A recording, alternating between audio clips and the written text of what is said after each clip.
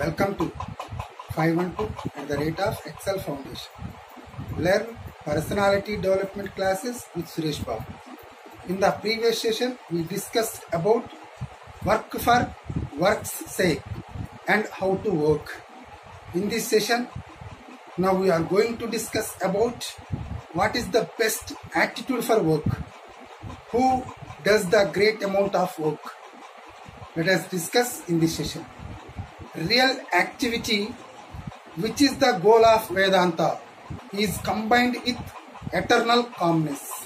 You know, the calmness which cannot be ruffled, the balanced mind which is never disturbed. Whatever happens, and we all know from our experience in life, that is the best attitude for work. I have been asked many times how we can work if we don't have the passion which we generally feel for work. I thought in that way years ago. But as I am growing older, getting more experience, I find it's not true. The less passion there is, the more we work. The calmer we are, the better for us, and the more the amount of work we can do. When we let loose our feelings, we waste so much energy, shatter our nerves, disturb our minds, and accomplish very little work. The energy which ought to have gone out as work is spent as mere feeling, which counts for nothing.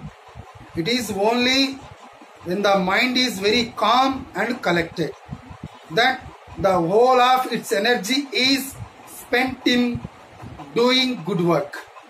And if we read the lives of the great workers which world has produced, and we find that they were wonderfully calm men. Nothing as it were could throw them off their balance. The man who becomes angry never does a great amount of work. And the man whom nothing can make angry accomplishes so much.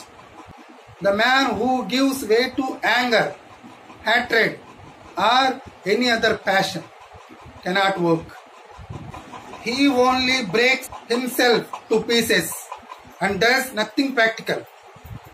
It is the calm, forgiving, equable, well balanced mind that does the great amount of work, you know.